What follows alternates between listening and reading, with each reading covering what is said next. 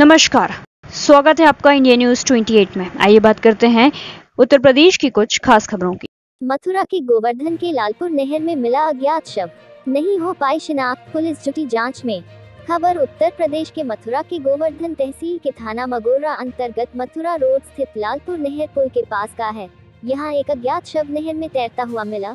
सूचना मिलते ही आसपास के ग्रामीण और पुलिस मौके पर पहुँची। ग्रामीणों की मदद द्वारा शव को नहर से बाहर निकाला गया।